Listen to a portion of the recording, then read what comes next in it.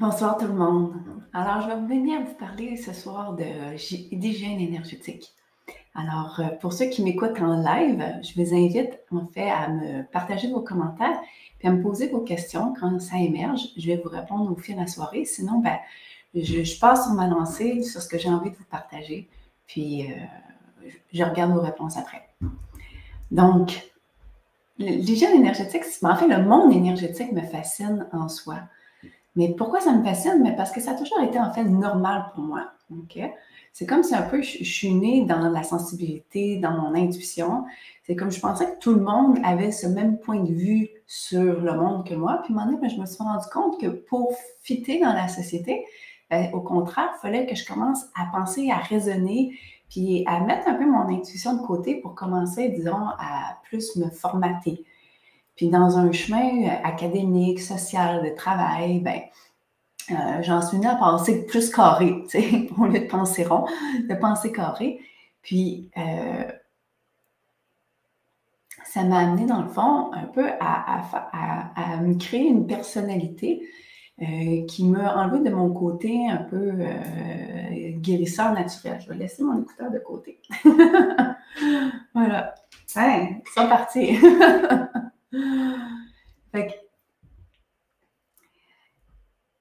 Puis du coup, ben, ça, a amené en fait à, l'intérieur de moi comme une séparation. Puis un jour, je me suis dit, ben, OK, ben, je vais partir à la quête. Il y a quelque chose qui ne marche pas. Tu sais, je me sens pas bien, je me sens malade, je me sens déprimée. Euh, ben, OK, je vais lâcher le monde des études, le monde de la recherche dans lequel j'étais. Puis OK, je vais partir en voyage. Je vais regarder comment ça se passe dans d'autres milieux, tu sais, dans d'autres sociétés.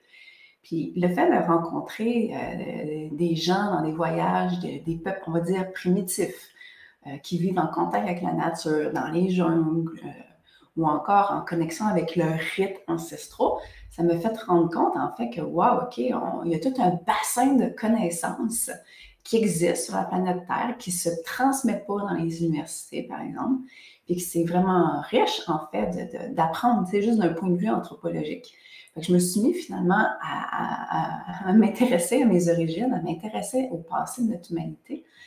Puis, finalement, ce qui a de l'air un peu wou-wou aujourd'hui quand on parle de chamanisme, de spiritualité, tu jadis, il y avait des siècles, en fait, c'était juste la base de c'est quoi une vie humaine normale. C'est intéressant de voir comment finalement, au fil des sociétés puis du progrès technologique, l'industrialisation, comment on s'est déconnecté en fait de, notre histoire.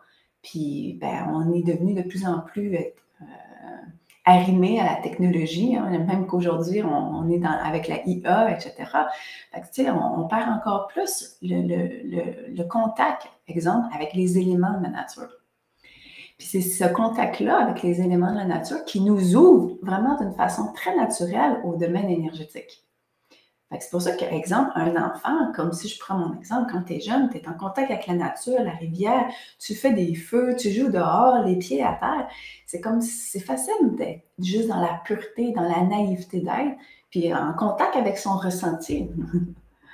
c'est la perte, en fait, de ce contact-là. On met des chaussures, on met des bottes d'hiver, on regarde plus le feu dehors, on va plus à la rivière, mais hein, on se met sa TV ou devant l'ordinateur, puis là, on commence à performer, à programmer. C'est ça qui nous, déconnecte tranquillement de ce qui est euh, inné.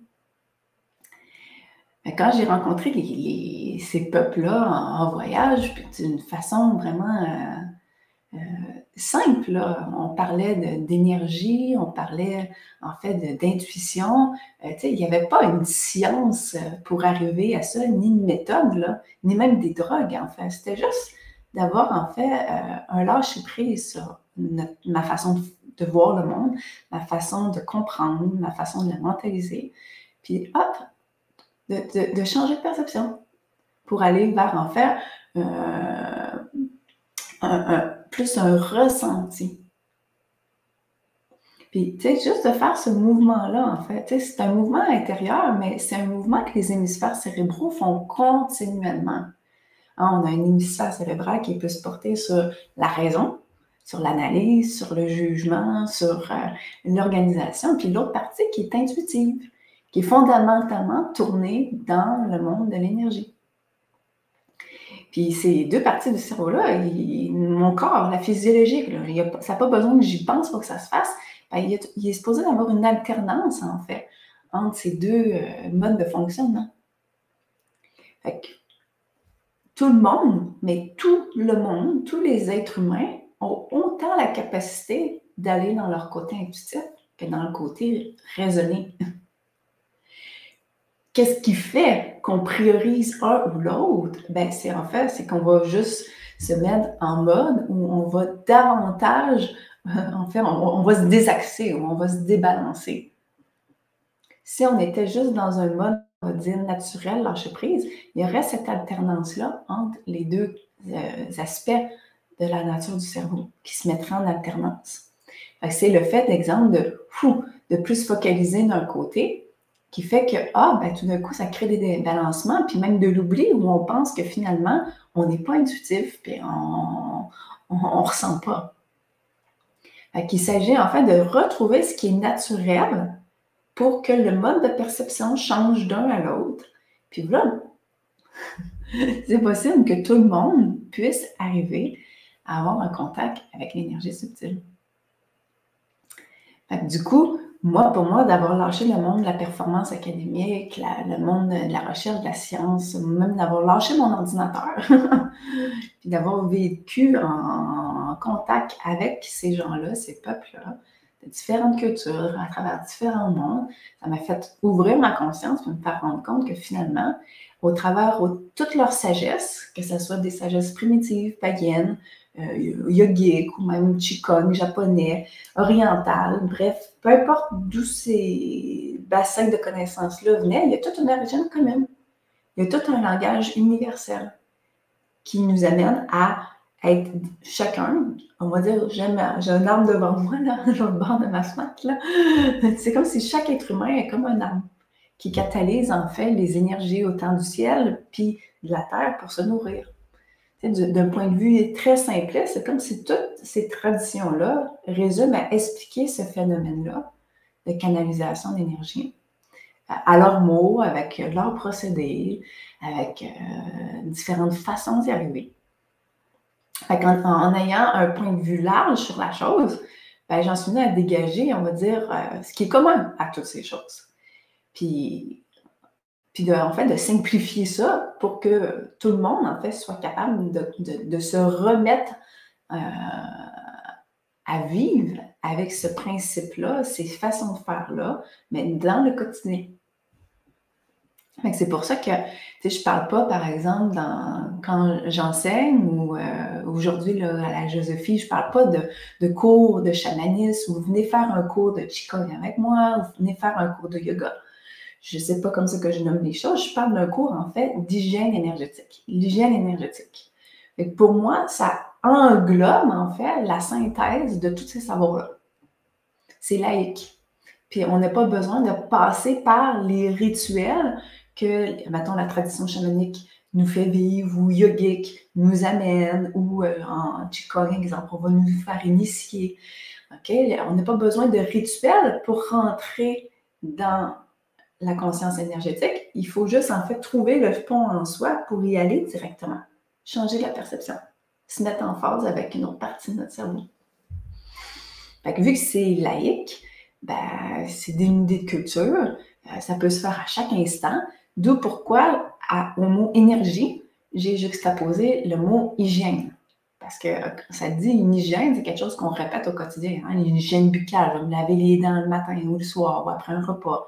Je vais faire l'hygiène de mes vêtements, je vais les laver, euh, je vais prendre ma douche. Euh, il y a comme des affaires qui vont juste avec le gros bon sens. Fait qu'une hygiène énergétique, c'est comme le gros bon sens de la discipline quotidienne pour, on va dire, garder un champ d'énergie propre c'est un peu la même chose avec mes vêtements. Mes vêtements, quand ils sont sales, ben, je prends du savon, de l'eau avec une machine, il y a un mouvement de spin, puis ça lave le neige, ça ressort, puis après ça, il faut que je le fasse sécher. Ben, en fait, dans le même mouvement intérieur, dans la dimension énergétique subtile, ben, c'est possible quand on a un dysfonctionnement ou qu'on sent sale ou fatigué, puis qu'on reconnaît ça, c'est possible de laver ses corps d'énergie.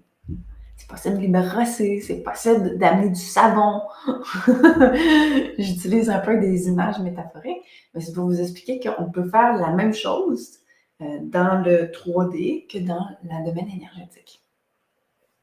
On ne va pas parler de savon, par exemple. Il y a des traditions qui disaient ben, on va prendre de l'encens pour se laver, on va prendre euh, des cloches pour se laver. Ça va être ça notre savon. Mais quand on rentre vraiment encore plus dans une, quand dans une accessibilité de ces choses-là, puis qu'on ne veut pas passer par les encens, les cloches, etc., pour jouer, hein, parce que dans le fond, chaque tradition va avoir un type de cloche, un type d'encens pour venir purifier tel type euh, d'action sur le corps, d'énergie, etc. Quand on enlève tout ça, ben, dans le fond, on peut comprendre qu'on peut aller chercher directement la lumière la lumière du soleil, la lumière du ciel, la lumière de l'univers. Après ça, il y a tout un travail d'ouvrir notre conscience pour aller comprendre c'est quoi la lumière. Mais quand cette lumière-là, on, sait qu'elle est là, ben, c'est notre premier savon. ça coûte pas cher. Et c'est tout le temps là.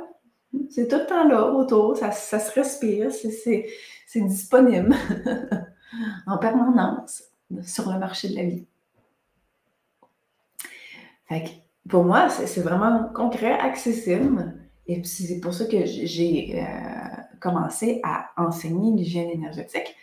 Parce que euh, en regardant un peu le monde dans lequel on est, il y a de plus en plus de fatigue, de dépression. Les gens se questionnent sur les systèmes de santé, veulent moins, par exemple, euh, prendre de pilules pour se soigner ou moins avoir d'intervention chirurgicale pour se guérir de problèmes. Ben, il y a vraiment un constat qu'on a besoin de changer les choses, de trouver des nouvelles façons de faire. Et en même temps, il y a de plus en plus de maladies. Fait que, voyant ça, hein, une quête de chercher d'autres solutions et aussi plus de problèmes, ben, pour moi, c'est de proposer l'hygiène énergétique comme une démarche au quotidien. C'est comme une solution qui parle à ces deux enjeux-là. Puis c'est une solution qui permet à monsieur, madame, tout le monde de, devenir plus autonome dans euh, sa santé. Parce que si justement on veut réduire les choses extérieures pour agir sur notre propre corps quand on a des enjeux, ben alors il faut trouver des façons d'être autonome dans son parcours. Et quand on dit autonome, ben, autrement dit, on ne veut pas passer ni par une culture, ni par un gourou pour avoir un champ d'énergie plus propre, Hein, c'est de passer par sa propre connexion, sa propre conscience. Puis je trouve ça intéressant parce que quand j'avais commencé à vouloir partager ça, il y avait une couple d'années, je ne sais pas exactement quand j'ai commencé à faire mon premier cours, mais si je me rappelle là, à, cette époque-là, je cherchais un peu comment définir la chose parce que justement, euh, les, mes amis de l'époque, ils m'ont vu tout d'un coup, euh, prendre une tangente dans le yoga, tu sais, comme maintenant mon cercle social, ben, pourquoi tu n'es plus à l'école, pourquoi tu n'es plus chercheuse, pourquoi tu quittes ta job? Mais tu sais, ça l'a fait peur après ma barre, ma, quête plus intérieure, tu sais, mes, voyages. Puis c'est sûr que quand je suis revenue, je n'étais pas la même. Fait tu sais, étant donné que je n'étais pas la même, ben c'était, j'avais une nouvelle identité qui prenait place. Fait me définir en fonction de cette identité-là pour être accessible à mes proches, ben c'était super important pour moi parce que justement, voulais pas avoir de l'air de l'illuminer. Puis je, ne portais pas de toge orange ou blanche là, pour être spirituel. Au contraire, pour moi, c'est important de rester, on va dire, accessible à mes proches, mais en même temps d'assumer qu'il y a eu un changement à l'intérieur de moi.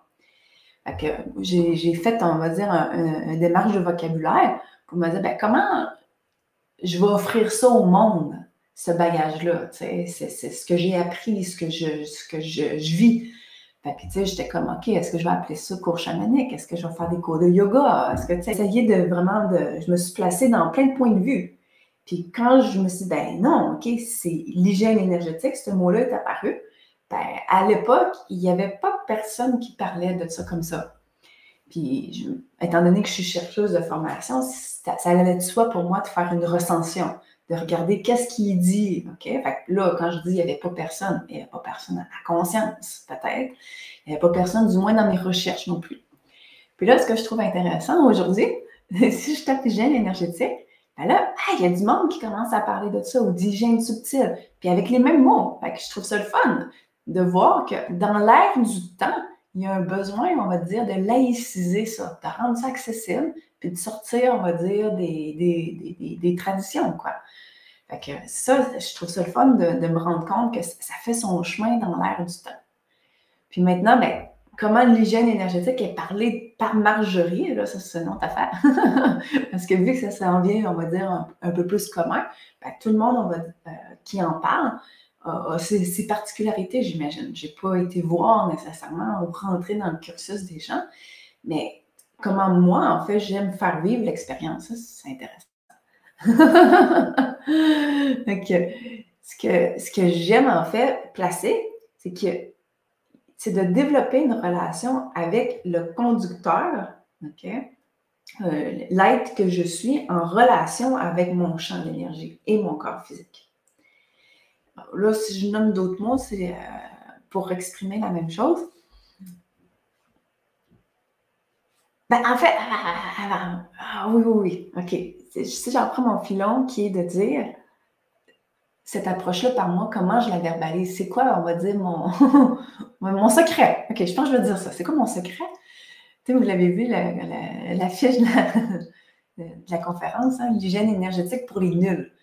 Ben, en fait, mon secret, c'est que je pense qu'en fait, il n'y a personne qui est nul en énergie. Il n'y a personne qui est complètement euh, innocent ou qui ne sait rien. Parce qu'au contraire, moi, à un moment donné, je me suis dit, ben, je vais arrêter de prendre le monde pour des nuls. Autrement dit, il y a des nuls énergétiques, puis il y a des gens qui savent, qui sont initiés à l'énergie. Non, je vais mettre tout le monde, on va dire, sur le même plancher. Autrement dit, les pompiers, les infirmières, euh, euh, des ouvriers, euh, tout le monde dans des boutiques de supermarchés, IGA. C'est comme un exemple. Tout le monde a une capacité d'avoir accès à l'énergie.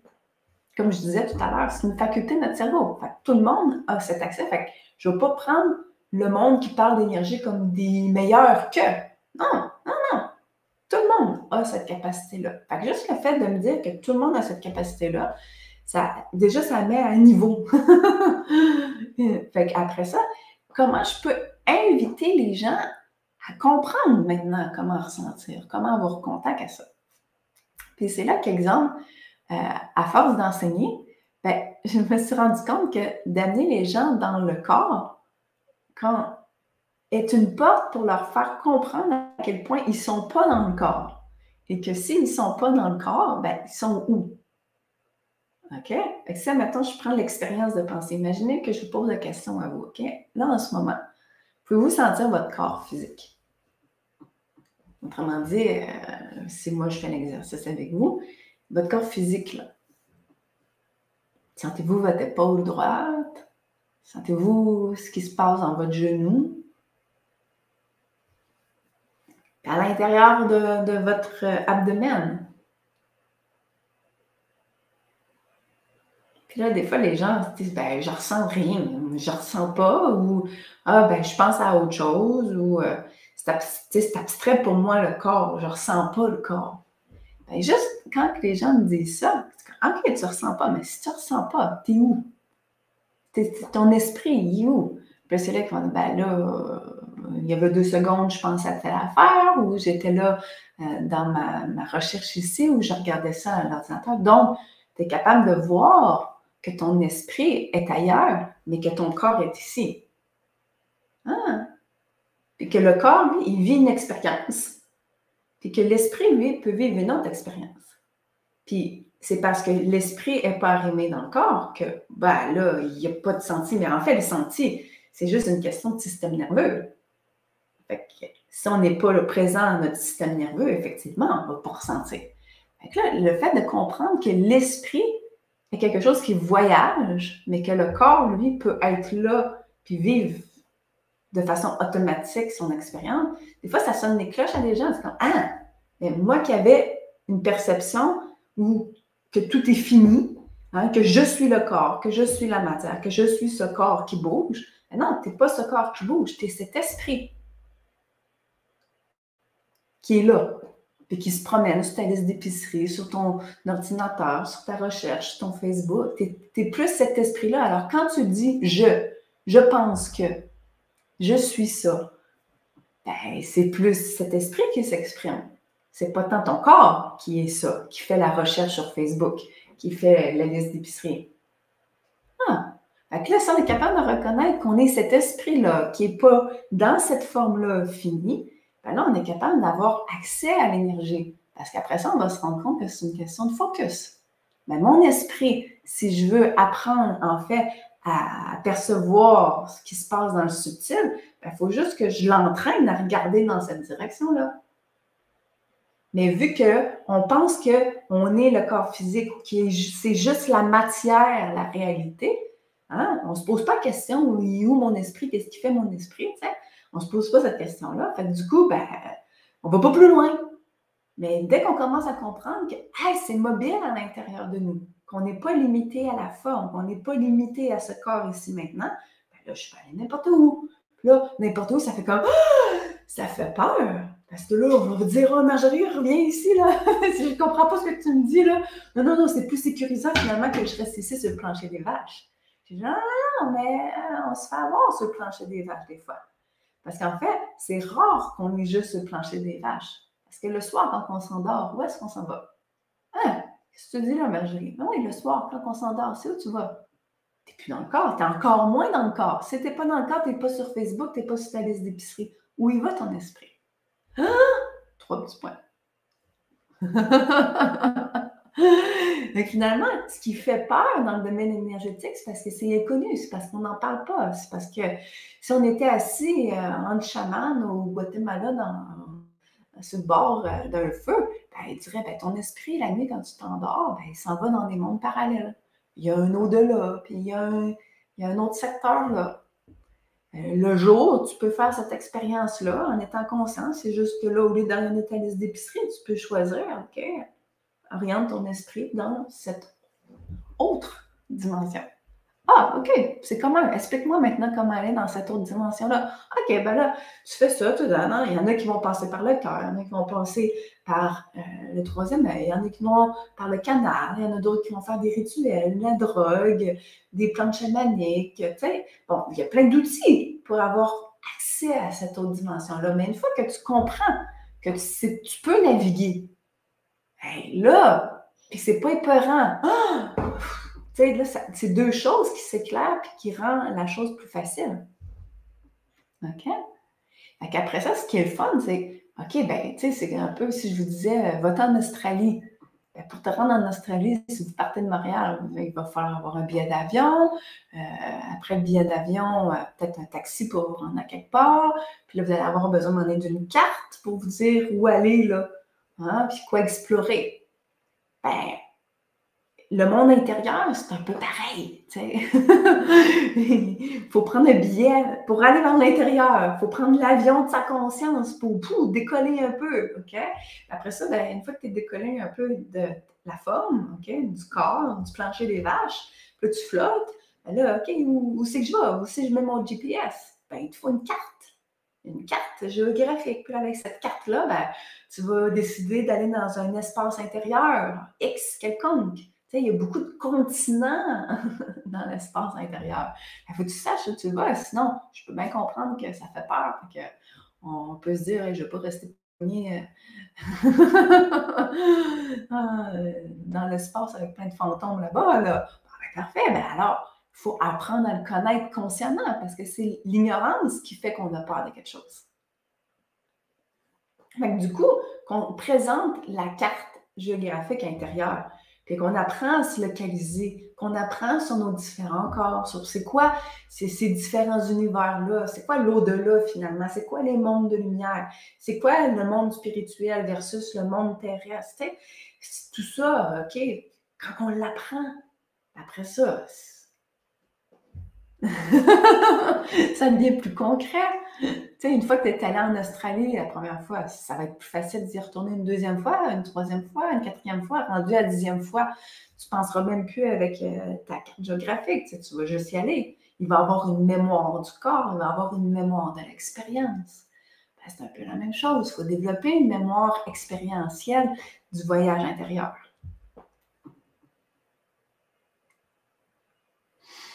pour moi, l'hygiène énergétique, d'une façon simple et posée d'expliquer c'est quoi ce voyage-là. C'est sont où les continents intérieurs, c'est quoi les différents euh, éléments là, euh, importants de notre voyage à prendre en compte. Bon, il faut un véhicule, il faut un avion, euh, après ça, une direction, etc. Je, parle en métaphore, OK? Mais c'est juste pour comprendre, si tu es, qu'il y a un vocabulaire. Puis là, après avoir appris le vocabulaire, ben là, après ça, on peut lâcher le vocabulaire puis juste s'amuser à ressentir. Mais pour ma part, je trouve ça effectivement plus plus touché, là, excusez l'anglicisme, de ne pas avoir de vocabulaire, puis d'un coup, flou, de partir en voyage. C'est là que des fois, on peut se ramasser. Vous avez déjà vécu un peu l'expérience. Hein? Tu n'es pas très planifié, là, puis tu dis je vais y aller au feeling, puis finalement, tu te ramasses dans un, dans un endroit, puis tu fais comme OK, je suis mieux de bouger d'ici. Là. OK? Ben, des fois, quand on y va un petit peu trop au feeling, je peux comprendre qu'on se fasse jouer des tours par le monde invisible. C'est pour ça qu'on se dit, ben là, je ne vais plus bouger, je ne vais plus aller à l'aventure, je vais rester chez nous, bien confortablement assis sur mon sofa, mon lazy boy, vais regarder ma TV Facebook. Ça, c'est le réel. Ici, je suis en sécurité. Boum! Comprenez que là, ici, je parodie un peu pour dire que ce n'est pas la solution non plus depuis partir à l'aventure. La solution, c'est juste d'apprendre à connaître pour enlever la peur face à l'insécurité du voyage. Une fois que la peur est enlevée, ben, c'est simple. C'est simple. Il n'y a rien d'extraordinaire. Euh, il n'y a rien qui est genre, euh, euh c'est une gang d'élus qui font ça, ou c'est juste euh, eux, les savants guérisseurs exceptionnels. Non, non, non. Tout, le monde a le même potentiel. hum une fois qu'on sent que tout le monde a le potentiel, qu'on enlève les peurs, puis que ça devient banal, ben, tu sais, là, ce qui est fun, c'est qu'on peut commencer à avoir un nouveau paradigme émerger dans les sociétés. Moi, c'est ce que je trouvais le fun en proposant l'hygiène énergétique au monde. C'était pas juste une question de moi, Marjorie, faire mon petit cours juste pour moi, puis euh, avoir euh, des sous pour payer ma bouffe. Là. Non, c'était pour moi quand j'avais euh, vraiment ensemer l'idée dans le monde, je pensais en termes de changement de paradigme. Qu'est-ce que ça veut dire un changement de paradigme? Bien, imaginez un peu quand on a eu dans notre époque industrielle l'arrivée justement de la technologie.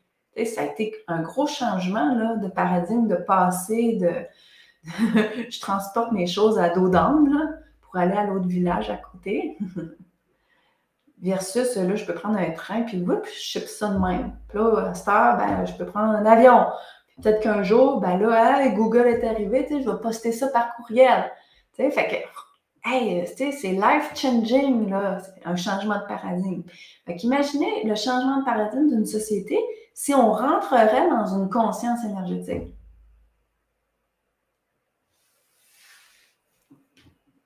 Ben, je pense que c'est inévitable. Je pense même que l'intelligence artificielle nous enseigne ça à défaut. C'est comme si ça va nous l'enseigner à la dure, ou je dis à la dure. Parce que la technologie va nous forcer à nous poser des questions sur les mécanismes, on va dire, subtils. Parce que dans le fond, avec l'intelligence artificielle, par exemple, avec les technologies, avec Google, avec euh, ces systèmes-là qui prennent de plus en plus de place, on touche de plus en plus au concept d'unité, de monopolisation, de mondialisation, de, de... Puis dans le fond, ben, quand je dis qu'on va l'apprendre à la dure, ben, soit qu'on va vivre une homogénéisation, on va dire, où on va devenir tous des. Euh, j'ai une un peu pessimiste de la chose, tous des robots qui sont unifiés dans une intelligence artificielle, ou au contraire, tout le monde devient un peu un canal dans l'intelligence naturelle au service d'un plan divin et non pas d'un plan technocratique.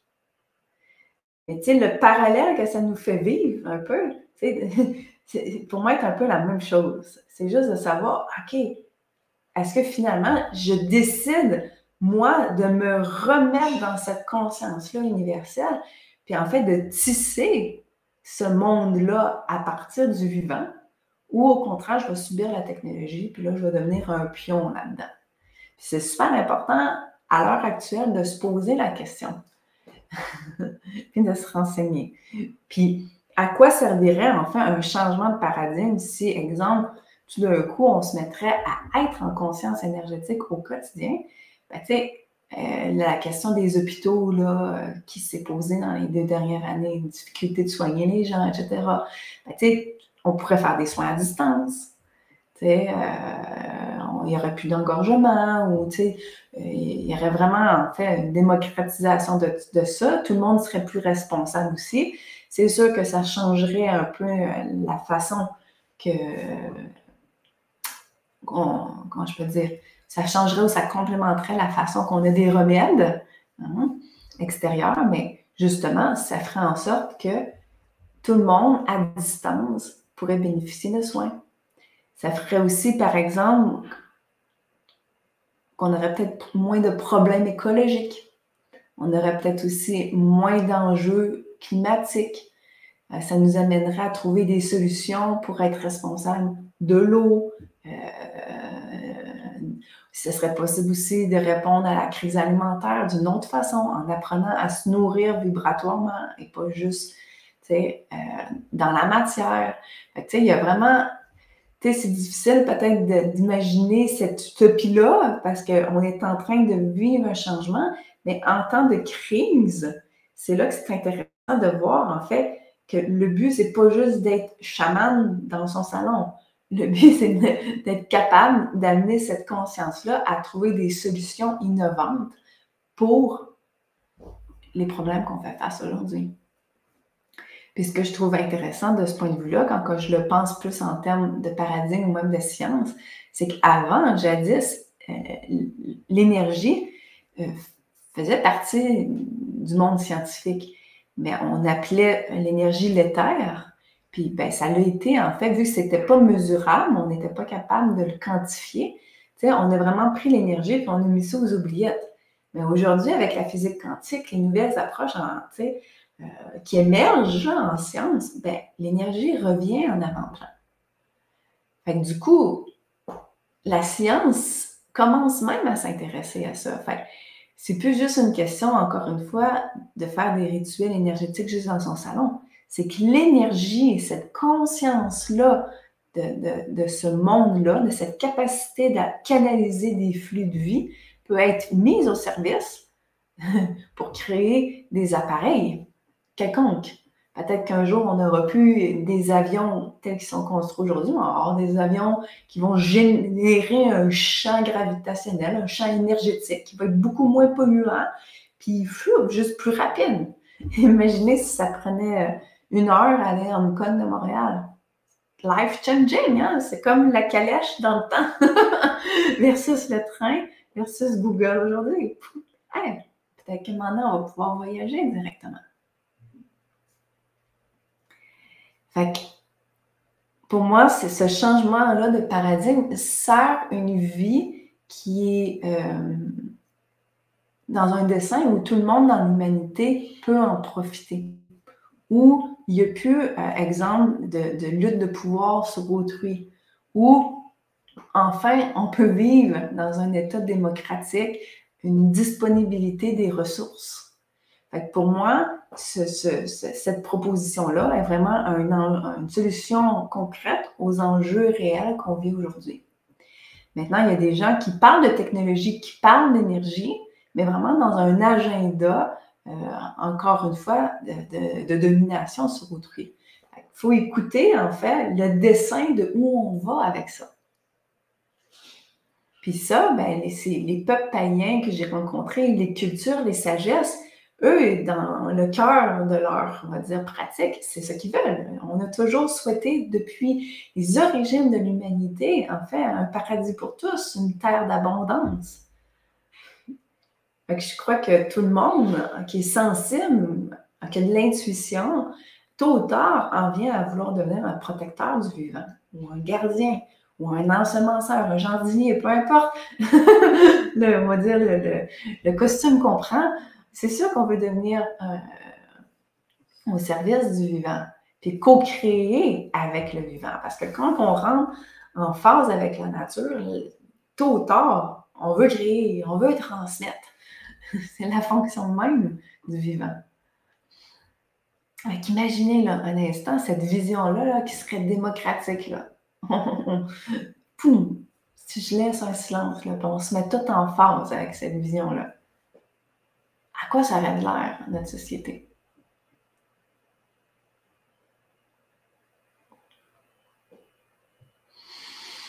Puis en fait, ben, je pense qu'il y a de plus en plus de gens qui sont hypersensibles, puis des enfants, un peu comme je l'étais là, tu sais, déjà ouverts, euh, tu sais, euh, disponibles à ce travail-là. Hein. Il y en a de plus en plus là, qui, qui, qui naissent, qui apparaissent.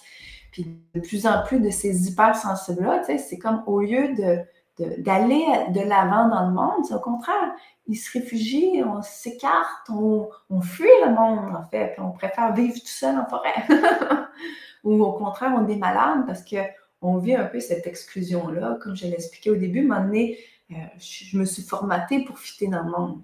OK? Ben, imaginez si toute cette gang-là d'hypersensibles, on, on se faisait dire, ou on leur disait, OK, c'est correct, tu es ici, en fait, pour répondre Hein, à cet appel-là d'un changement de paradigme. Puis, go, là, on va, juste focaliser sur nous, notre capacité, c'est d'amener ça dans un, dans, un mode de vie. OK, on va le faire. Ben, ça deviendrait moins marginaux. Ça ferait aussi moins peur. Vu qu'il y aurait un effet de masse. Au travers de ma conférence ce soir, ben, autant je voulais inspirer le goût d'apprendre sur ça, mais dans le fond, ce que je me rends compte, c'est que je parle aussi aux gens qui sont sensibles. Je dis, hey, ben, outillez-vous ici, puis go, venez agir. venez agir. Allez, on, se prépare à l'action. Toutes vos professions peuvent être des vecteurs, en fait, pour amener ça d'une façon concrète. des fois, quand je regarde ça, ça, on pullule de coachs, puis de gens, puis de guérisseurs, puis tout ça. Mais à un moment donné, c'est parce qu'on n'aura plus des boueurs, là. on n'aura plus de gens qui vont conduire les avions. cette conscience-là, pour moi, elle n'est pas faite pour vivre un monde juste de thérapie. Au contraire, quand on n'a plus besoin d'être en thérapie, ben, on peut créer les formes du futur. On a besoin d'une certaine façon de technologie. On a besoin dans notre société de faire un pas de plus vers l'avant. soit qu'on laisse à un dessin artificiel ou soit au contraire, ben, il y a de plus en plus de gens qui décident d'aller puis de faire partie de, cette euh, émergence-là. Que je pourrais aller vers, euh, maintenant, de, façon plus concrète, là, c'est quoi les bienfaits d'une jeune énergie, comment qu'on applique ça. Je, je, je, peux aller vers une finale un peu plus euh, détaillée. Ce que je vais faire avant, c'est que je vais regarder s'il y a des questions ou des partages.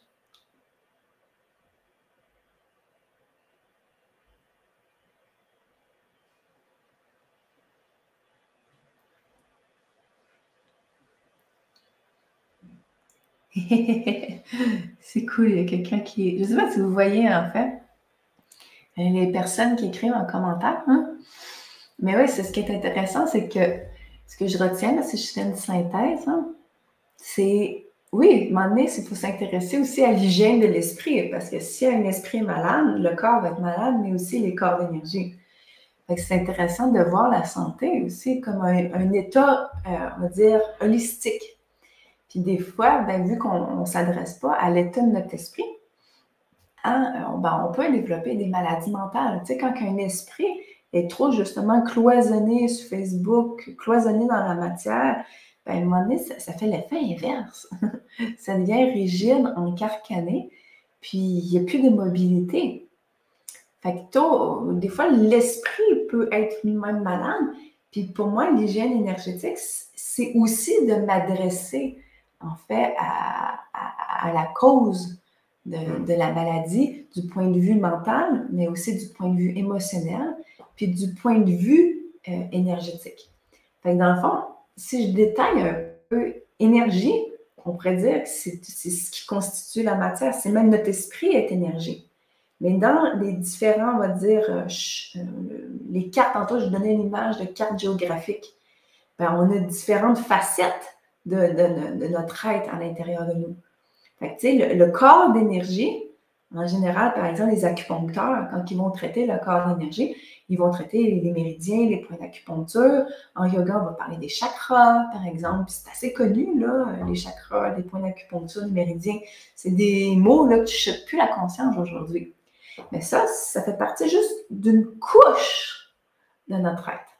Il y a une autre couche, on va dire, un autre plan vibratoire qui est tout notre monde émotionnel. Après ça, il y a le monde de notre esprit, de notre mental. Puis après ça, il y a d'autres mondes encore plus, on va dire, subtils. C'est plus difficile d'aller percevoir ces mondes-là parce qu'ils sont, on va dire, plus, plus moins denses que notre corps physique ou estro. Fait que ça nous demande, en fait, de raffiner notre perception. Puis en fait, une fois qu'elle est raffinée, ben, on peut découvrir qu'il y a encore, OK, il y a des mondes euh, infinis là, dans l'au-delà. Quand on rêve, où on va? Hein, ben, il, y a, des univers parallèles dans notre monde intérieur. Puis il y a des fois des gens qui font des expériences de mort là, qui reviennent sur Terre. Puis il y a beaucoup de gens qui partagent en fait leur expérience dans l'au-delà. Donc l'au-delà, on pourrait dire, c'est une destination, c'est un voyage qui existe d'une certaine façon. Puis il y a différents euh, plans encore dans l'au-delà. Il y a comme un Australie, il y a un Québec, tu sais, on peut aller vers le haut, vers le bas, vers l'est-ouest. Tu sais, il y a vraiment un monde à voyager. Mais pour aller là, ce qui est intéressant avant, c'est de s'occuper de ce qui est proche de notre corps physique, de s'occuper de ses chakras, de son esprit, de ses émotions, hein, pour mettre ça en ordre, pour justement avoir une identité forte, une cohérence forte. Puis après ça, OK, on peut aller voyager plus loin. Avoir un esprit malade, des émotions un peu chamboulées, puis oups, s'ouvrir à l'au-delà, ça peut faire l'inverse. Ça peut encore plus désancrer. Fait moi, mon conseil, dans le fond, euh, les bienfaits, mettons, de l'hygiène énergétique, à quoi ça sert? Ben, c'est qu'une fois qu'on a appris le langage, ben, ça nous aide à être plus sécure, à en avoir moins peur, puis ça nous sert à améliorer notre condition de santé d'abord. OK? Fait une fois que notre santé est, améliorée, ben, après, on peut s'amuser à repérer les signes qui sont précurseurs de la maladie.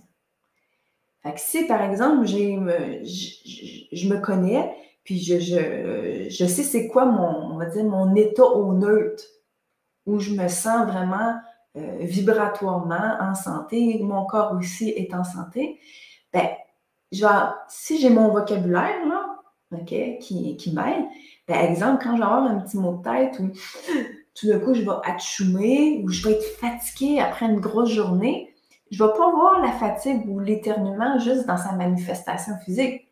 Ah, j'ai une grippe ou Ah, je suis vraiment fatiguée, je vais me prendre un café. Non, non, je vais être capable, exemple, d'ouvrir ma conscience, de changer mon point de perception, puis de dire Oh, OK, je suis fatiguée parce que j'ai eu un conflit qui m'a affecté dans mon corps, mon aura. Ben, je vais nettoyer le conflit à la place d'aller me prendre un café. Puis là, vous, en nettoyant le conflit, l'imprégnation énergétique que, que, ça a eu, OK? Ben hop, tout d'un coup, j'ai pu fatiguer. Voyez-vous, ça devient rapide comme ça. OK? Puis quand je dis qu'on n'a pas besoin de passer par un rituel, par exemple, il y en a que, OK, on va ouvrir une bougie, on va mettre tel encens, on va aller prendre tel cristaux, on va se connecter à tel maître de telle tradition pour aller nettoyer l'aura, par exemple. Non, on peut juste, d'une fois simple, prendre conscience, trouver son accès à l'énergie lumière qui va venir savonner, puis on va se laver. Fait que, en tout cas, j'espère que j'arrive à mettre des termes euh, je sais que c'est un peu poétique, mais à vous rendre un peu la chose plus concrète. Si vous auriez envie de plus l'expérimenter puis d'approfondir la chose, ben, en fait, je vais vous inviter à, suivre mon cours. Euh, vous pouvez le suivre comme un cours, ou vous pouvez le suivre aussi comme un livre, dans le sens que il, euh, est disponible en rediffusion. Puis il y a tellement de, matière, en fait, que il y en a qui, ils, le voient comme une façon de lire un livre. Là. Entre lire un livre puis écouter un cours, en tout cas, pour moi, c'est comme un peu la même chose. Ça répond en fait à un besoin de, juste partager l'information. Mais la différence entre un livre puis, va dire, le cours, ben, c'est de vous le faire vivre. c'est ça que si vous êtes là en live avec moi, euh, ben, je peux, par le feedback, vous amener dans la pratique à raffiner, en fait, euh, votre perception, euh, l'ouverture de votre hémisphère intuitif. Euh, je peux vous aider à trouver votre alignement. Mais si vous n'êtes pas avec moi dans le cours, et vous faites juste lire le cours à la maison, ben, là, vous allez peut-être avoir la connaissance, mais vous n'aurez pas la pratique dans l'expérience. C'est possible de faire les deux. dans le cas concret, vous avez envie de vous joindre à l'aventure, le cours commence la semaine prochaine. Il revient à chaque saison à la géosophie. Puis, euh, vu que c'est en rediffusion, vous pouvez embarquer dans le fond dans n'importe quand. Puis, pour ceux qui écoutent euh, la conférence puis qui se sont rendus jusqu'à la fin, dans le fond, euh, je vous offre un coupon de réduction. Quand vous regardez à la page d'hygiène énergétique sur la géosophie, vous allez voir le coupon, c'est le mot présence. Parce que l'hygiène énergétique, ça nous aide à vivre la présence. Hein, dans ces mondes-là intérieurs d'une façon intégrée. En rentrant le coupon, ben, vous bénéficiez d'un petit rabais, un petit cadeau pour m'avoir écouté, puis pour vous soutenir, en fait, dans cette démarche-là, parce que mon élan, en fait, c'est que ça devienne accessible, que ça devienne, en fait, que tout le monde parle de énergétique un jour. que ça soit la nouvelle mode. Comme le yoga a été une mode, que, tout d'un coup, ça va être normal. Hein? J'ai un bobo à l'épaule. Ah, regarde, je vais faire mon cours d'hygiène énergétique pour enlever mon bobo. Comme, ah, j'ai mal à la dent, je vais aller chez mon dentiste. fait que, ben, si ça vous parle, ben, partagez, faites connaître, écrivez-moi vos commentaires euh, par courriel ou euh, sous la barre de commentaires Facebook, YouTube. Puis, ben, je vous inviterai à une autre conférence. Restez euh, à l'affût. Il y a Mathieu qui, la semaine prochaine, va faire un partage sur la géobiologie, qui est aussi une expérience, en fait, de conscience énergétique, mais appliquée au lieu. Ah! Si ça vous parle, c'est un rendez-vous la semaine prochaine avec Mathieu. sur ce, merci de m'avoir écouté. Puis au plaisir. Au revoir.